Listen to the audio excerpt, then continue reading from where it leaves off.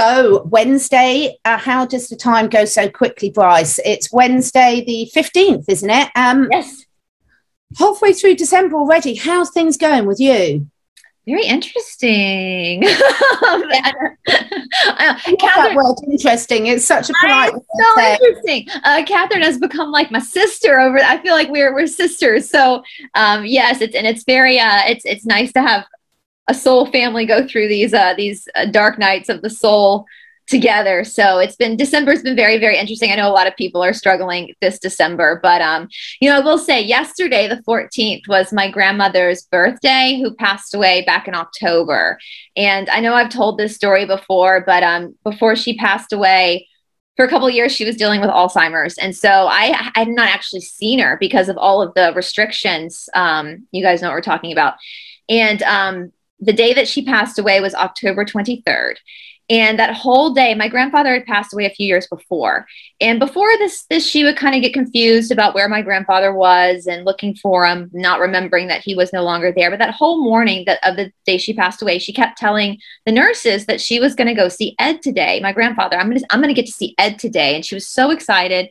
And the nurses were like, "Yeah, okay, okay." You know, someone has Alzheimer's. And then that night she passed away. Well, it turns oh. out that October 23rd, I didn't know this, that was their wedding anniversary.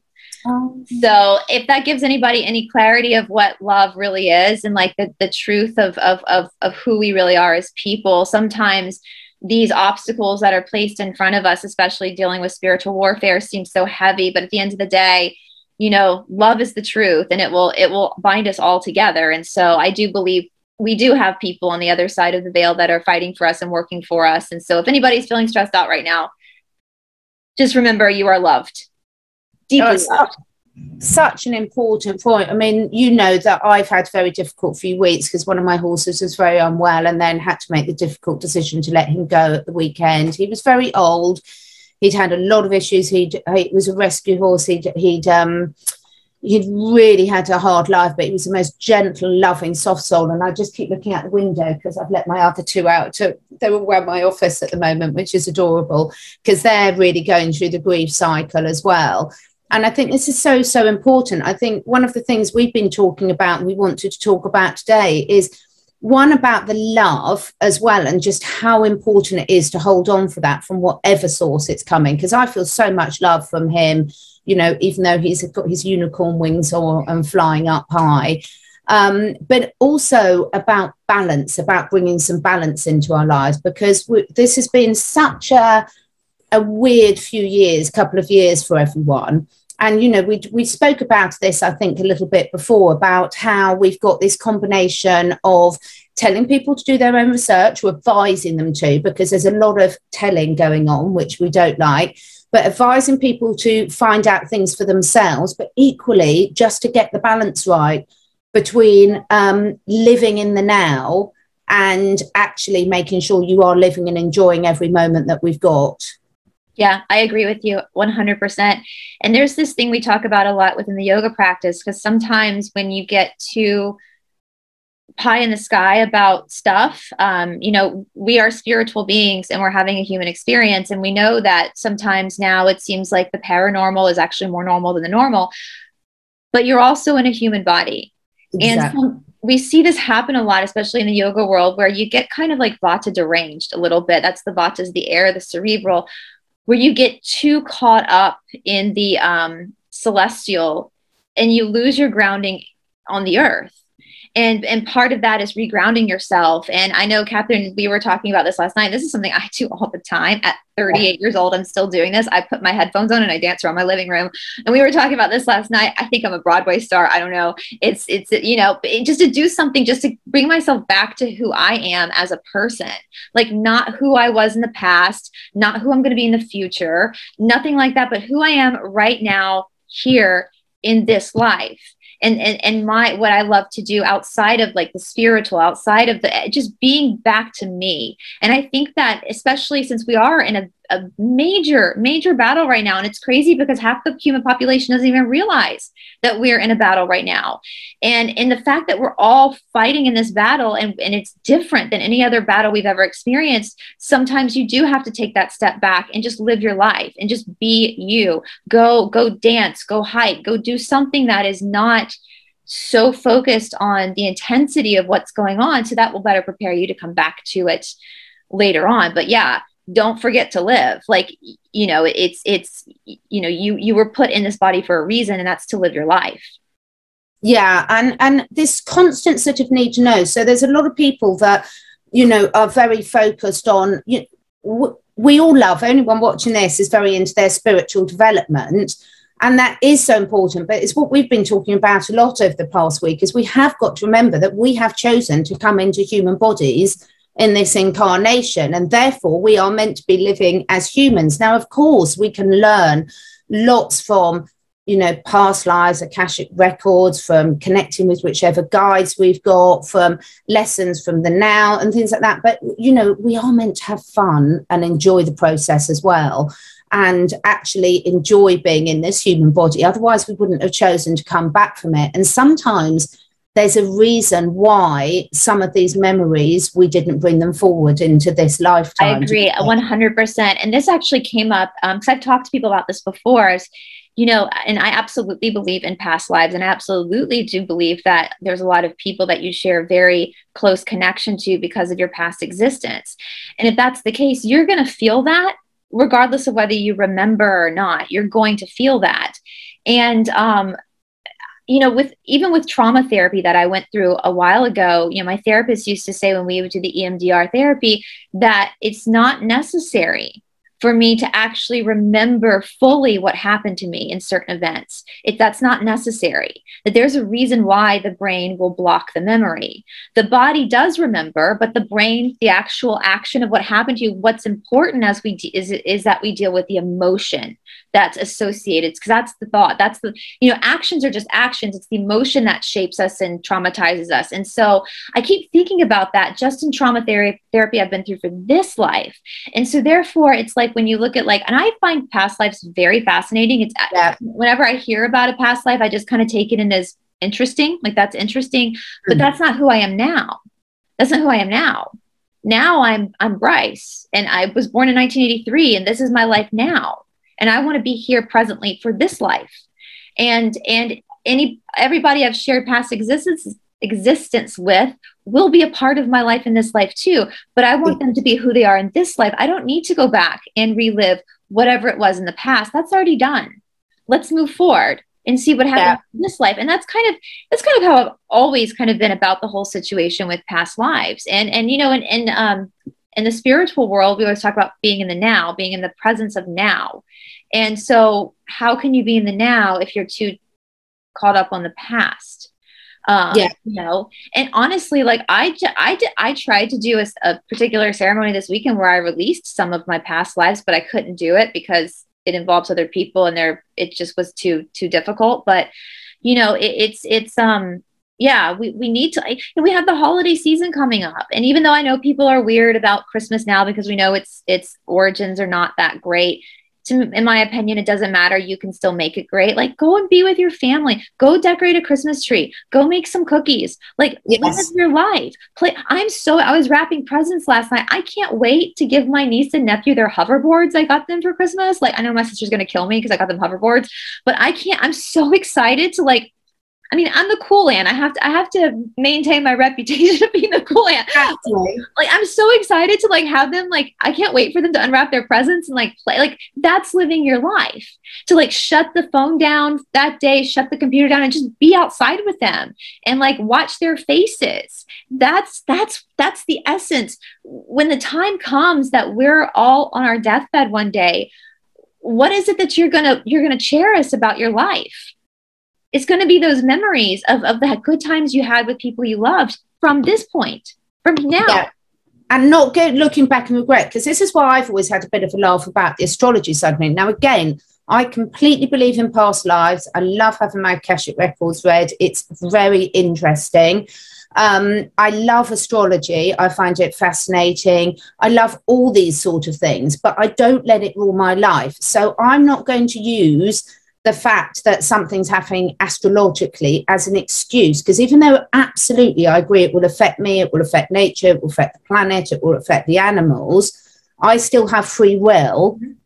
To decide whether I'm going to let that retrograde ruin my day or not. Yeah. And this is the difference. You know, I've got a twin sister and we're incredibly different. And yes, I know astrologers being born 10 minutes apart can make all the difference, etc. And I accept that.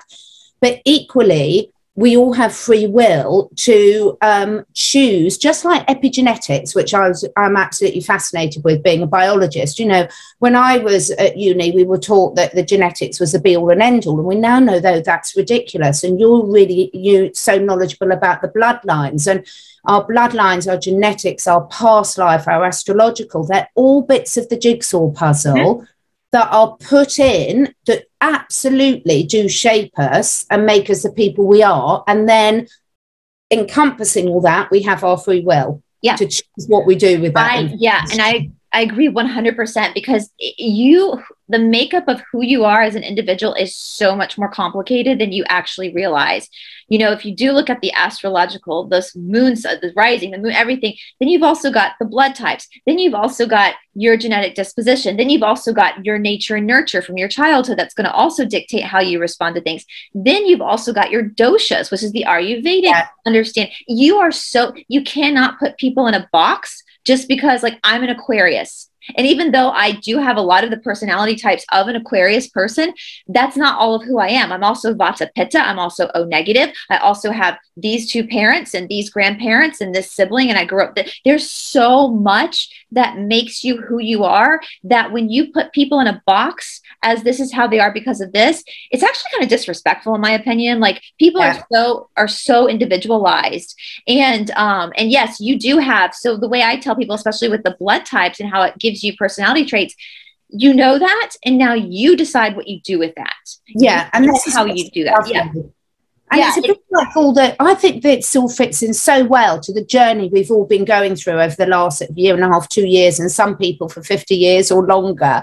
Um, whatever your sort of discovery of what your truth is. Because again, even truth is completely subjective um, because you don't know a lot of the time whether it is it might be your reality that you're living now but we all know things can change in the in an instant mm-hmm. and i think this is what's so wonderful is this is fun this is all fun putting the more we understand ourselves the but almost the more choice we give ourselves because we can then the better you understand yourself you it gives you tools to help control perhaps reactions yeah. and things um, so that's really wonderful and it's fun and it's enlightening and, and it's really that- important that people don't go into excuse mode you know yeah. because we've seen so many people go into excuse mode about well i didn't know about the side effects of this or i didn't know about that or i didn't know about this. And that's fair enough. No you didn't.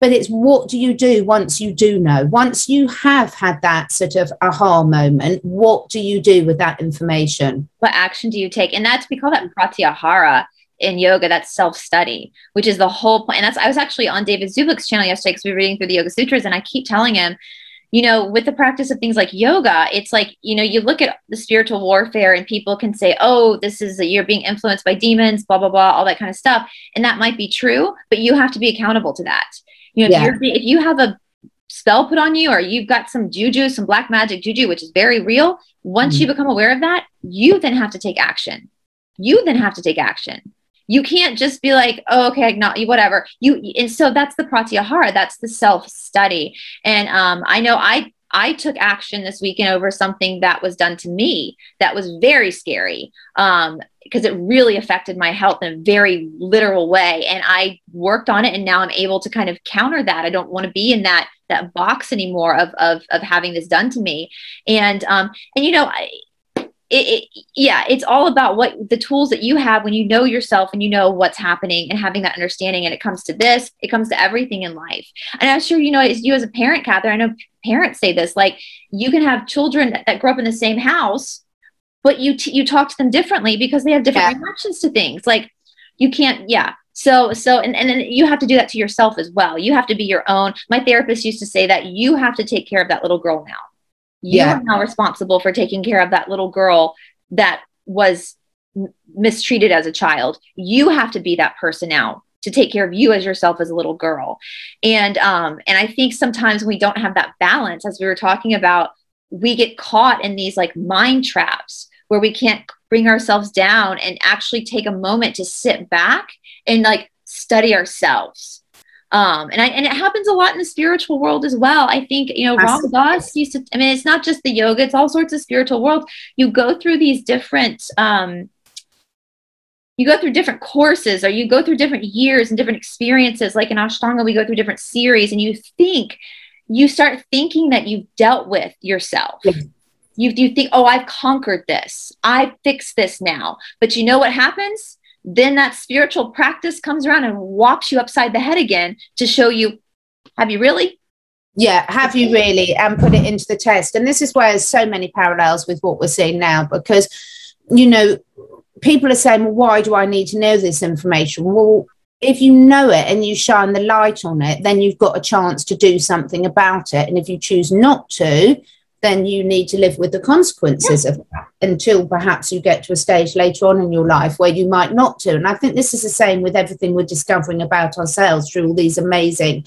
tools and techniques that are available to us. But I think it is, you know, I hear so many people, I obviously work in natural health with people and their animals, and so many people have been told either certain breeds of dogs or horses are predisposed to this and this runs in my family and that. And we now know that most of that is complete bullshit. We now know that actually your raw genetics are nowhere near as important as the environment um, influences, which are many and numerous. And that's the same with sort of us. All these things that we bring with us into this life absolutely are, but we've our current environment is what we do. And it's the choices we make on a daily basis. You know, yes, we're we're finding out a lot of what we think is truth. We don't you know, let's see what we think in two years' time yeah. about this um, and about at the moment. And it's what we do with that information. What, how does that help us live our lives in a better way? How does it help us help others and contribute more and really make the most of this existence that we've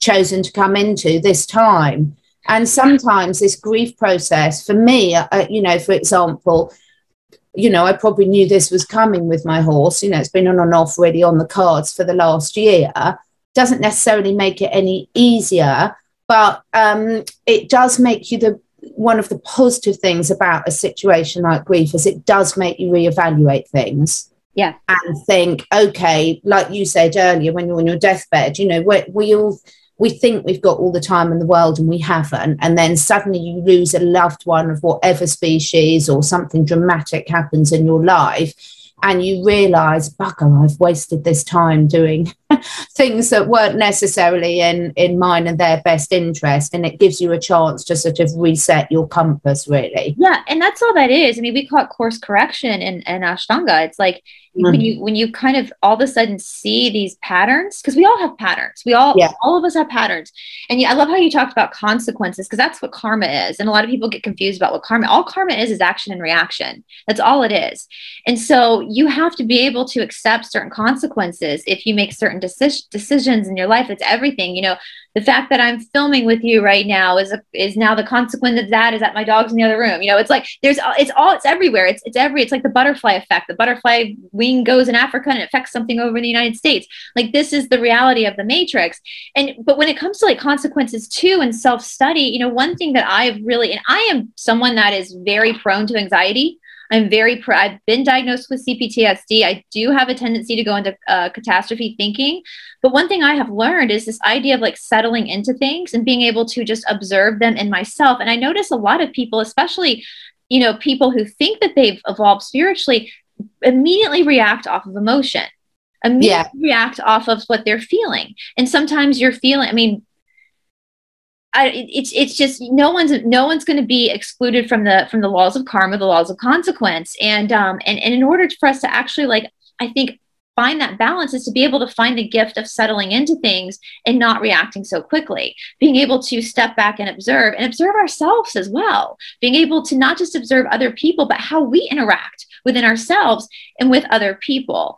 And um, I think I said it on the show last time. My grandfather used to say, like, there's nothing, you can't control anything in this world. You can't control your money. You can't control, you think you can. You have an illusion that you can control yeah. the stuff, but the only thing you can control is you, is what you are doing. And, um, and yeah, it's, it's, uh, and I think, you know, and I think a lot of we're we're we're really at this. I know astro, we're speaking of astrologically. Astrologically, we are at a very intense time right now. This is a, a lot of stuff is coming up. Um, I if we want to get kind of loopy and spiritual, I believe that we're really at the end of this very crazy battle, and so the darkness is throwing in or it can. I probably can't say that word. I'll have to mute that. But you know, the darkness is going to come in. Basically, I keep thinking about Miley Cyrus's song "Wrecking Ball." Just this yes, completely, yeah. And and that's and that's okay. And if it happens, and and and if that happens in your life, and and you know the truth, you, you know what you're seeing, and you stand in that, you're going to have to let certain people go. You're going to have to let the cards fall where they will, the chips fall where they will, and just trust that at the end of the day, it's all going to be okay and everything is going to get righted anyway. But, um, but yeah, but then go back to that balance. If you are experiencing that, go outside, go take a walk, go take your dog out, go play with your niece and nephew, go play with your kids. Like, you know, watch a funny movie that you like, you know, go go listen to music and dance around, you know. Like I did last night in the dark and I love. Thought, what's the thing? Yeah, my husband did say he's going to buy me a big cauldron so I can dance around that next time. I love it. I love I'll, I'll video of that over Christmas. And also, it's like, yeah. So, so also choosing how we respond to all of this, and and choosing. It's such a cliche, but choosing to respond with love rather than with defensiveness. And this is something that takes practice. And, you know, it was one of the big advantages of getting older. So I've always reacted really emotionally. I'm a very emotional person. So I've always reacted emotionally. You can always tell by my face what I'm Same. really Same. yes. Um, and I don't want to hide it. That's not me. I don't want. I'm not. I'm certainly not in danger of being one of these people that suppresses their emotions. no, so, no, because that's another that's another problem all in itself. That's a different problem. Yeah. yeah. Um, but it's like you know, as you you develop these skills through life, you can choose to respond with kindness and choose to see things from other people's perspectives in terms of you know the why are they are they doing this from a point of calm kindness or not? And and this is really really important to what we're facing at the moment because. Um, there's so much going on, rumor mongering about you know what the real reason for this is are they good are they bad? What even like what are the reasons for the lockdowns you know? And some people are saying it's to keep us safe whilst they do these operations. Other people are saying that. We don't know at the moment. We don't know. We can we can hopefully manifest it in the direction we want but we we don't know for sure. No. yeah but what we can do is choose how we're going to respond to all of these situations that are being thrown with us. And also, are we going to be in a respond in a way that when we little old grannies looking back in our rocking chair and thinking, are you proud of yourself? Did you do the right thing? Yeah, for sure. For sure. And I know there's there's a yeah I, I, I know i mean i and that's the thing too like we look at like the things about what's going on globally with you know for us we can't really travel we can't do a whole lot because we've rejected the demands of of of them. Um and and that's tough. And it does feel like your whole world is is is falling apart when you feel like you've lost that that liberty to just be able to move about. And so when you talk about going within yourself to be able to sit calmly with that and to observe that. And yet we don't know. We we we know that that we're going to win but we also don't know at the same time. There's also that fear of insecurity of like what if we are being duped and i think a lot of us have that that fear um, but i know for me and, and i think again that's that part of like sitting back and reflecting at this point, up to this point, I, am pretty proud of the decisions that I've made um, in this battle. And I, am pretty proud to say that I have somebody posted something on Twitter, and I'll have to be very careful about how, how I say this that basically, if you are still without, mm-hmm. you still haven't given in, you literally have survived one of the biggest. Um, you guys mm. know what I'm talking about. I don't want to say the word of all time. Like that's how strong you are. You survived mind control you weren't mind controlled. But in saying that, doesn't mean you're not going to be mind controlled in the future. Yeah. And it doesn't mean that you haven't still got to really keep your wits about you and develop your intuition and keep questioning and seeing. And also, you know, just like, I mean, I know some people that are recovering alcoholics or recovering drug users or recovering things. But what is amazing is the way they've taken responsibility and they are recovered. And I think that goes to the same of what we're going in now. Anyone can have a, a, an awakening, a change of opinion, a realization, a spiritual connection, whatever, at any time, and think, okay, I don't think there's a single person that will be watching this that hasn't made decisions in their past that they then can regret. Right. Right. But sure. did you learn something from it?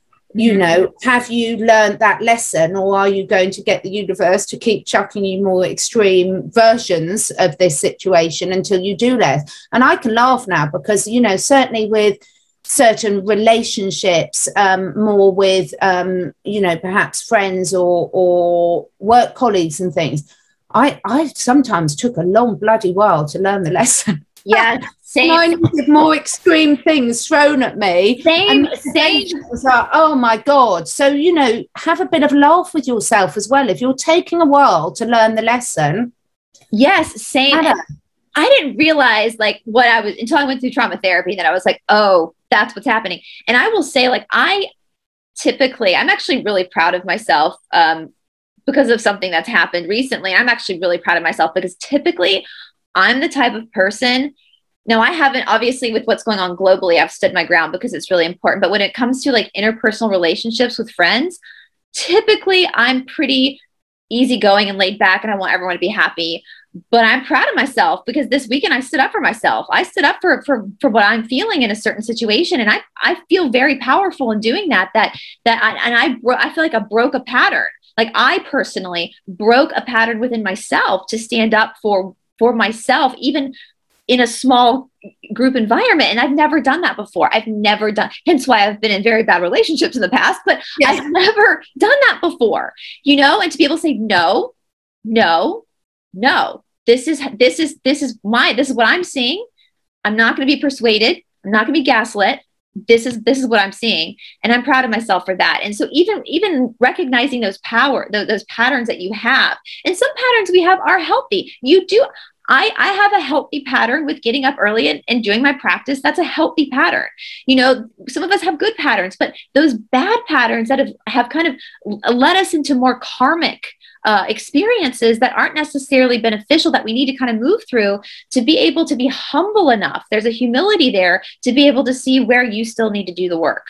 And yeah. um, and I think that happens a lot too, though. Like I said, going back to the whole yoga thing with with what we we see happening a lot in these deep spiritual traditions is that in the beginning you go through all these these uh, obstacles, you go through all these things, and you you overcome them, but then you lose your humility you start to lose your humility.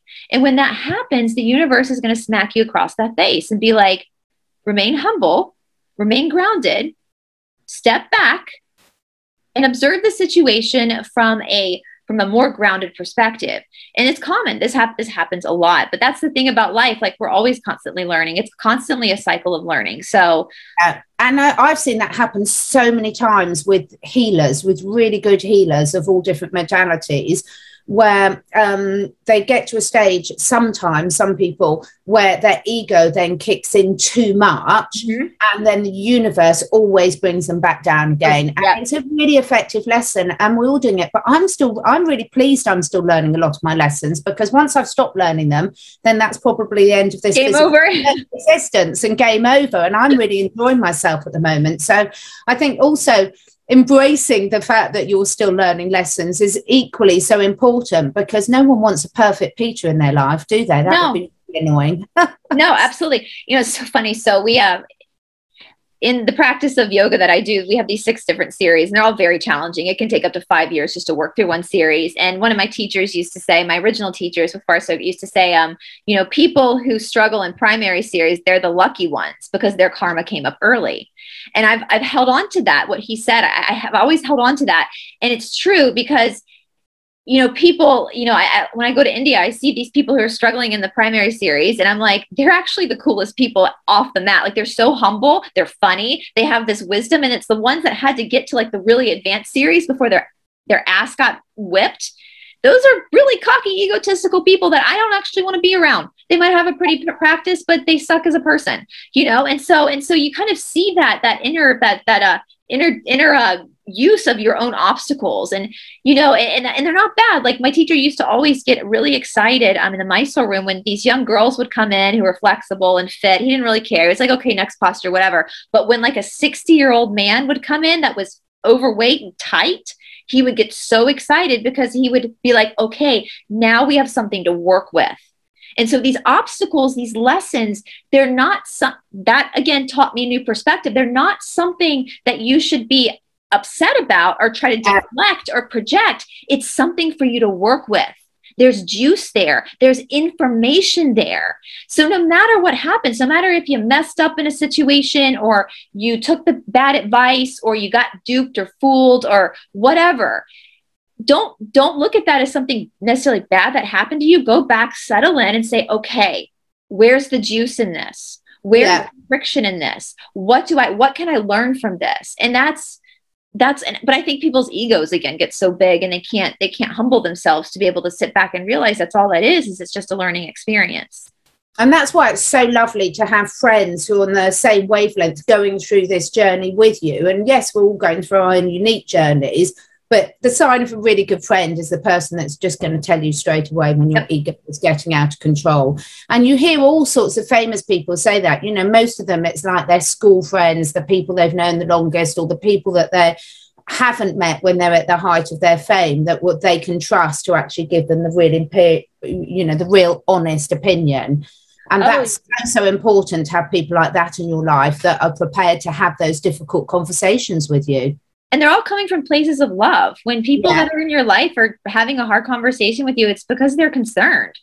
You know, they're concerned about you and they, they, they want you to be safe. They want you to not make a bad decision that, that they can see. You know, sometimes when we get so caught into something, especially emotionally, we have a really hard time seeing clearly.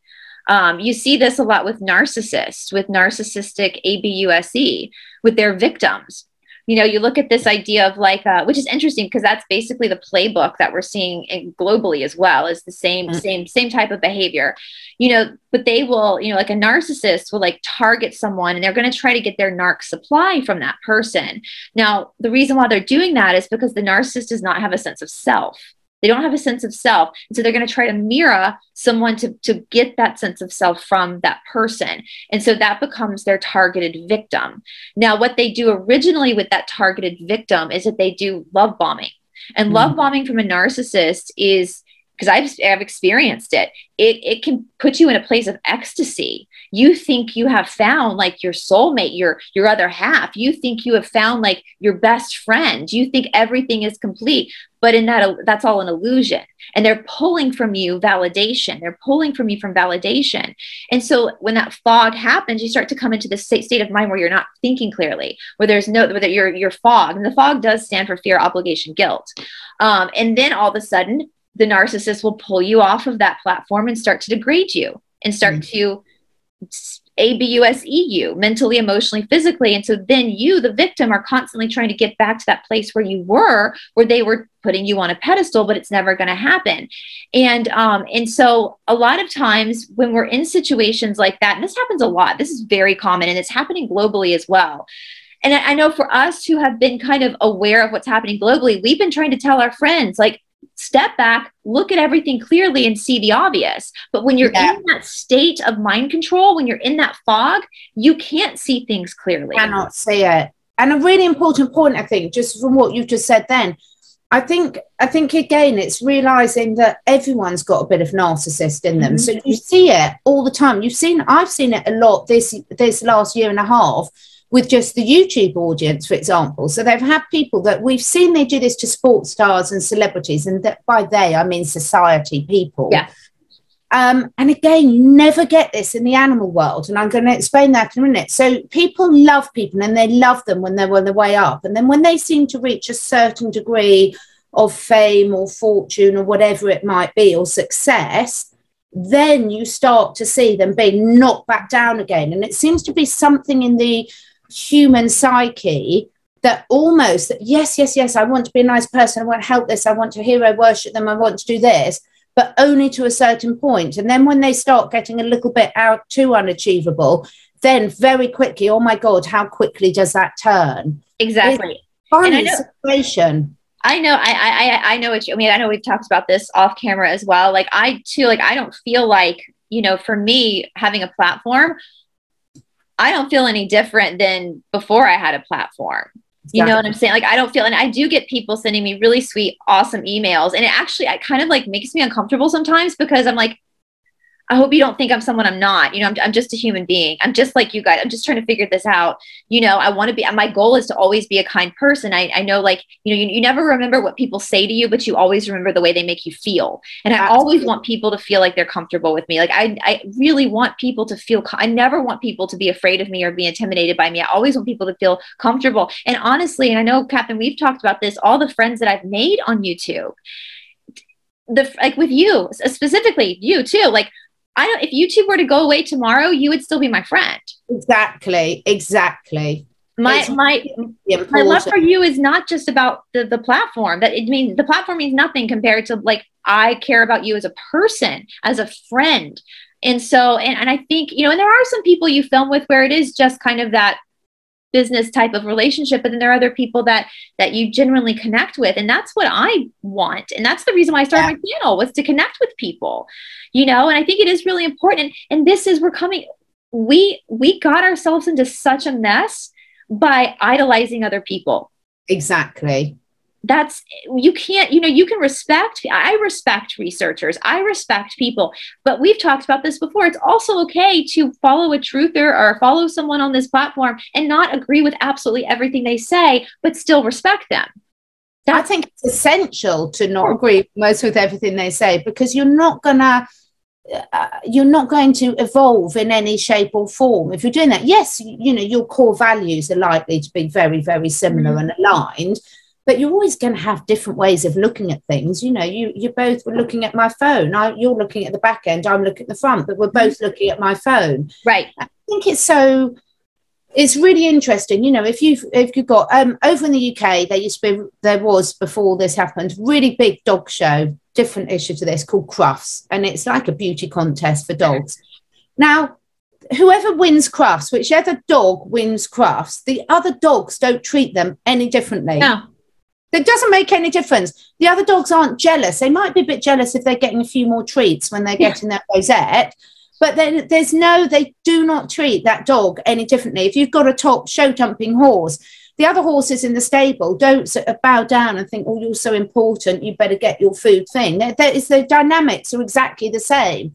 And it is really interesting. That's why I really hope that you know, we've all said this is where we've got into a lot of these problems because we believe we've relied on people to be our saviors. We've expected other people, whether it's the medical profession, teachers, religious people, to sort out our problems and be our gurus. And of course, we can always learn from people. I mean, I've got loads of people I'm looking forward to listening to over the weekend because I love them and I find them inspiring and they lift me up and I always do learn, but they're not my gurus you yeah. know not yeah. they're not i'm not going to sit there and sort of hero, hero worship them and make a little altar for them sort of no thing. and that's funny i you know going my teacher in india um we we would call you know we call them gurus as master teachers and, and it, it drives me crazy in india because even before all this happened like before i was even on youtube and i would go back and forth i would get so annoyed by these other people like lionizing him and i'm like he's just a man He's just a master teacher of yoga. Like he's just, and, and they would ask him these questions in conferences that were absolutely ridiculous, in my opinion, because you're coming from a place of being a Westerner and you're asking advice from someone who is from India. You have a totally different life culture. Your culture is different. So why are you why are you handing that power over to this person that is is just strictly here to teach you yoga? you know yeah. that that I, I it used to drive me crazy now the good thing is my teacher in india was always really good about kind of not taking the bait. Um, and, and, there were funny questions. Like I, I, one conference, I was sitting there and somebody asked a question. It's like a 40 year old person asking this question. Does coconut stand outside of the shala that you can get after you drink after you practice? And the they asked our teacher like, how many how many coconuts should we be drinking after practice? And my teacher was like, as many as you want. Like why are we so why are we giving our power away like that and it was the most ridiculous somebody asked him like oh you know if you live in a part of the world that has four different seasons because we want the shala room to be quite warm like how do you then how do you then work in the winter and my teacher was like you turn your thermostat on. Like what? I, this yes, and, and, and it's like why are we why are you asking these questions? Like he's here to, for you to ask questions about the bhagavad gita or a certain posture or a certain philosophy. Why are you why are you li- lionizing a human being this much? You have your own brain. You have your own gut intuition. You have your own feelings. Like why do you have to ask these these questions that you can figure out by yourself? And i think that is another part of this great awakening. And and any other youtubers out there like us that have big egos like that's not okay. Like I, try to mm-hmm. tell my channel a lot. Like I feel like all of my subscribers are on the platform with me. Like I have my, but you're here with me. Like we're doing this together. Like I don't want to do this by myself. We're doing this together. You know, yeah, so just having these conversations and not needing to know any of the answers. That's the biggest thing that I've enjoyed about all of this. I love the fact that I'm not on the White Hat team and I don't need to have any of the answers. I am so relieved. Now, having been a past control freak, because I'm wanting to have all the answers. It's just the best feeling ever. I don't need to have any of the. Uh, I'm enjoying asking the questions, but yeah. I don't no, need any of the answers. It's so funny you say it when, when my and listen, guys. This was like in the early '90s, so I'm sure that there is a different psycholo- psychological psychological view on this now. But I remember my mother used to always tell the story that my fourth grade teacher. So what? You're like eight, nine, ten, something like that in the fourth grade. Told my mother once that my sister and I there are two types of thinkers in this world. You can really break it down to two types of thinkers. Um, there are people who think black and white, and there are people who think gray. And she, this fourth grade teacher told my mom, my sister thinks black and white. I think gray. And she said, you know, my sister Rebecca, she was like, she does, she needs an answer. She she likes math, she likes science, she wants a direct answer. She wants to work with solid information. Brice doesn't need an answer. Mm. That's why she's really good at reading comprehension skills. That's why she's really, you know, and, and she was right because as I got older through school, I loved philosophy. Mm. I loved reading. I loved talking about human experiences. I she was right. I I I had so I come from the Brices. My mother's maiden name is Brice. It's where I get my name from. They're very well-known doctors in the southeast, especially in South Carolina. I come from a long family of doctors. And when I was in high school, my chemistry teacher I kept asking all these questions. Like I know I was annoying him because I just don't like that's just not my wheelhouse. But I was trying to figure it out. And in the middle, he just like looked at me and he goes, Why are you asking these questions? You come from a medical family. How do you not understand this? You know, and I was like, well, you know, it's uh, this is just not how I think. This is not, you know, this is not this is not this is not what I enjoy, you know. But but talking about not having the answers, like, yeah, I enjoy that. I like seeing where things are gonna go and seeing like well, we don't really need it. Everything is shades of gray in life. Everything is shades of gray, and there is no direct answer to everything. And yeah, and I'm, I'm really glad I'm not on the White Hats team too, because I could not handle what they're going through. No, I really couldn't. It's bad enough making decisions for certain things in your life without having to make decisions for the planet. I know, I know. I was excited. I can't even. I know my role in this life. Yeah, I'm hard enough trying to the time trying to control my dog on a leash. Like I could never be in their position. Like that's not something that I will sit on. I will just continue doing deep dives because like that's not that's not like yeah that's not that's not for me in this life. So so yeah yeah yeah, and just again, you know, that comes on to embracing people's differences. There's so many people that are really good at stepping into that role and can do it more objectively. Yeah. Um, and and we've all got different skills in this life that we've got. So it's really important that we sort of use and embrace those and not try and be someone we're not either, which is really quite yeah, why would you want to try to be out of us a lot, hasn't it though? Yeah. I mean, like what you said it before, like on a sports team, everybody's got their own uh their own roles and it, it, you can't all be a particular person. So why are you trying to emulate someone else? Like be yourself. You've got your own abilities. The same creator that made the rocky mountains made you. So why are you trying to be someone else? Be Good yourself. Point. you're perfect. Yeah. you, you're enough. You're enough. The same creator that made the rock i'm gonna say that again. The same creator who made the rocky mountains who made the sahara desert made you that's how powerful you are. That's how special you are. That's how unique you are. Don't try to emulate anybody else. Don't lionize anybody else because you are you. You are made for, a reason and you have skills, you have abilities.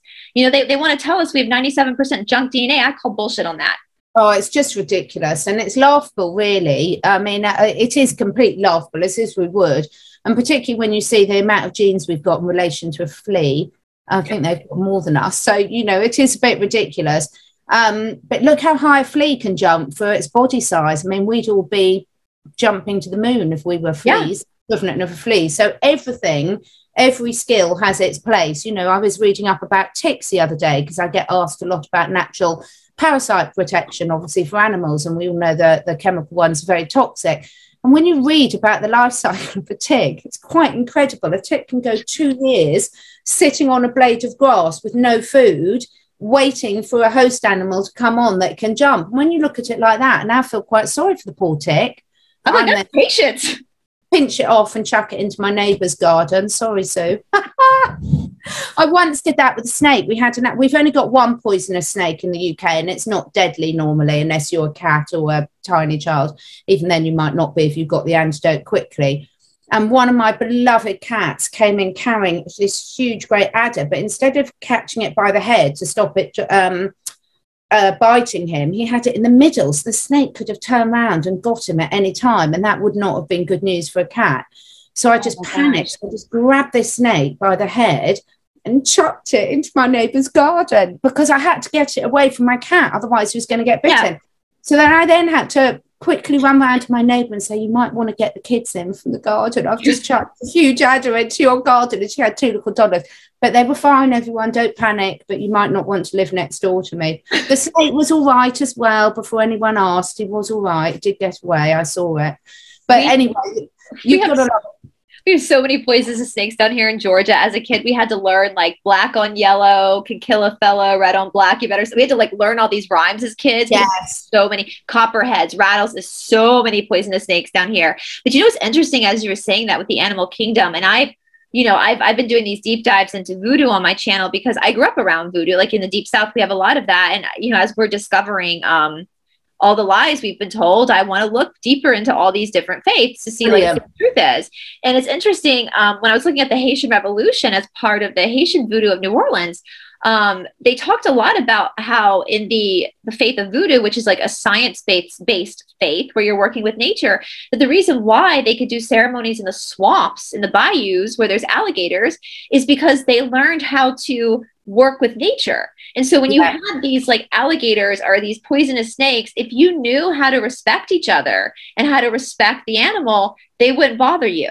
They wouldn't yeah. bother you. And that's so, you know, we talk about like animals not lionizing other animals. And it's the same thing with with nature. Like they're so animals, regardless of what species, they're so ingrained with the rhythm of of the earth that they're able to kind of only attack when they need to. Humans exactly. attack because they're insecure. Humans attack. We we're the ones that screw it all up. You know. Oh, always, so, absolutely, yeah. always. You know, it is funny. Um, but really, bit of good advice from there. Just always go into the swamp with someone that can run less quickly than you, and then you're fine. you don't need to worry about anything. Choose one of your friends that can't run yeah. Sometimes at night to like chill out. This is going to make me sound like a psychopath, but sometimes at night to chill out, I'll watch watch like two, true crime. That's like how I relax. Um, but there's a really great se- series about the bayou in New Orleans. Y'all would be shocked at how many people get dumped in that bayou because the body just disappears. It just it'll just yes. it'll just, it'll just get it'll be food. You know, it's just it'll just disappear. So so if you live if you're visiting New Orleans or Louisiana, just keep your well, eye out my neighbours have got these two amazing pigs. They're gorgeous and they're huge. And I used to help look after them then when they're younger, when they went away and everything. And then once I discovered that pigs can eat human remains, like now every time my husband doesn't clean up his dishes or his clothes, I'm like, you know where the pigs are. I know where the pigs are. You know where the pigs are. So you want to be careful. that is awesome. Yeah, but unfortunately, the pigs are a little bit too well fed. I think. I think we'd be a bit tough for them now, really. Yeah. so. Well, and that's the thing about animals too. They typically don't overeat, do they? Animals will typically only eat what they need. Uh, especially my dog, who's a rescue. He's really good about like not eating um, unless he's really hungry. He hasn't exactly. been. You know, he so knows like when he goes outside like if he has like a little upset stomach like he and i've actually learned that from you because when I, he first started doing this it really like made me paranoid mm-hmm. but he knows he'll sniff around with grass and he knows like which plants to eat to make him throw up and when his stomach when he's got an upset stomach he'll self-medicate And I've heard you say stuff like that. Like that, we should keep it that way. They know what they're doing. You know, oh, absolutely do. And they can, you know, I can remember when it was four years ago today that Lola, one of my Romanian dogs, started her journey, her long journey over from Romania. I just, that's one good thing about Facebook. You get the pop up memories because I'm hopeless with dates. I sort of have no concept of time whatsoever. So I'm completely hopeless with dates and what year anything happened in. Um, but it was really amazing. When she first got here, she was just so adorable and she was so grateful for anything to eat. So she did cabbage, she did carrot. But I remember one day I did an experiment Look, not long after I got her, and I gave her one organic carrot and one non organic carrot, and she wouldn't touch the non organic because she could sense the chemicals on it. Um, wow. But now she's a bit more pampered. She's a bit more fussy about what she'll eat. But she's, yeah, she's, it, it's the natural instincts. And one of my ponies lived wild for four years before I got him. And he's one of the best ones when I used to do the in person courses to demonstrate with because he knows exactly what he can eat and what he can't. And interesting, my son was always born with the same thing. Even as a toddler, he knew exactly which plants he could eat and which he didn't. I, I mean, that's so amazing.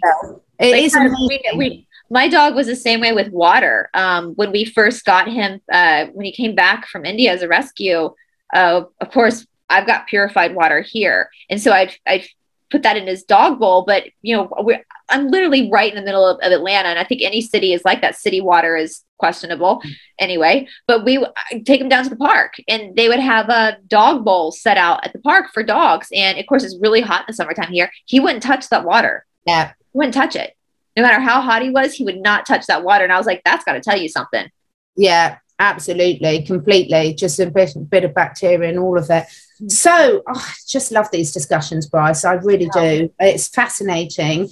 Um, so many more questions. I think if anyone's watching um, this, which hopefully someone will, if you've got questions, interesting questions that you'd like discussions on, please do tell us because I just think at the time it is now, it's really nice to release the pressure off people, not have to know what date things are going to happen on, whether we're right or wrong about this. Concentrate on making the decisions that you feel are right for yourself. And if you're a parent and you've got children that still listen to you for your children, um, and just let go of the rest, let go of the things that you can't control.